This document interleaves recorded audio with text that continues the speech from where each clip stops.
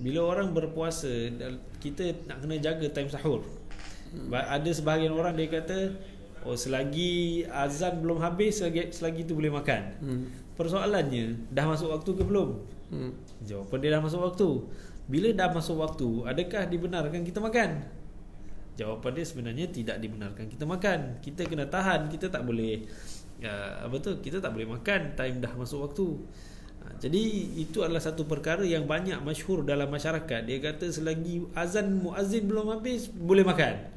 Ada yang kata selagi yang dalam mulut tu boleh telan tapi yang kat luar tangan tak boleh masuk mulut. Dia sebenarnya yang dalam mulut tu pun kalau contohnya dah masuk waktu, yang dalam mulut tu pun kita kena keluarkan. Bukan kita boleh telan. Hmm. Ha, jadi ini siapa-siapa yang contohnya bila dah masuk selepas uh, masuk waktu tengah azan dia masih makan itu sahlah puasa dia memang batal. Hmm. Memang puasa dia dah batal lah terus terang. Ha, jadi eh, ini satu perkara yang kita kena prihatin. Kemudian eh, apabila uh, dia bukan sahaja kita perlu berhenti makan sebelum uh, apa tu? Uh, sebelum masuk waktu. Tetapi kita perlu berhenti makan waktu imsak tu kita kena jaga.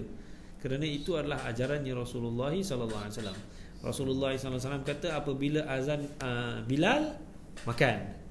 Uh, lepas Bilal azan makan. Bilal azan ni dalam satu jam satu jam setengah sebelum subuh. Itu waktu sahur. Waktu sahur bermula dalam lingkungan satu jam setengah sebelum subuh. Sebelum subuh.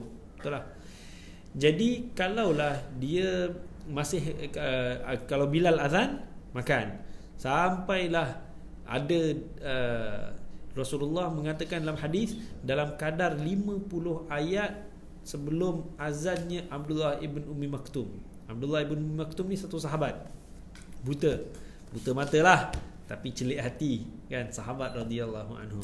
Jadi eh, Rasulullah kata sebelum Abdullah ibn Umi Maktum azan yang kedua iaitu azan waktu fardu subuh ha, di situlah kita apa uh, kita uh, 50 ayat sebelum azannya berhenti makan.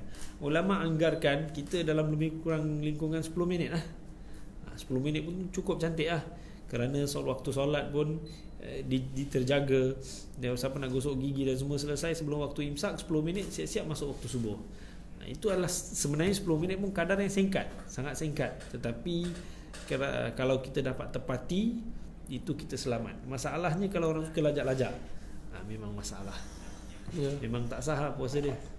Hmm. jadi macam mana kalau tak sah puasa? Adakah dia boleh makan sepanjang hari? Ya.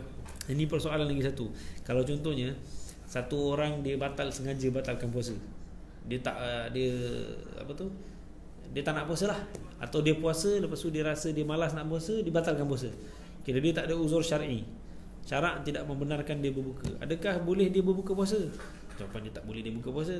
Habis kalau dia buka puasa ad, kalau puasa dia sudah batal adakah masih dia adakah dia boleh makan? Dah aku dah puasa aku dah batal lah. Ha, dah boleh makan lah. Boleh macam itu jawapan dia tak boleh.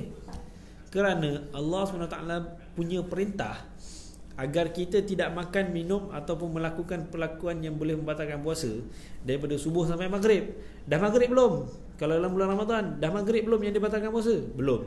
Selagi belum maghrib selagi tu awak tak boleh makan. Maknanya kalau dia makan satu suap dosa satu. Kalau dia makan lagi satu suap dosa lagi dua. Kalau dia makan lagi satu suap lagi dosa tiga. Dia minum dosa empat. Dia minum lagi dosa lima. Dia isap rokok dosa enam Walaupun puasa dia sudah batal Dia masih tak boleh makan minum sepanjang hari Sampailah waktu buka puasa Itu cerita dia Untuk hmm. orang-orang yang apa Yang uh, batalkan puasa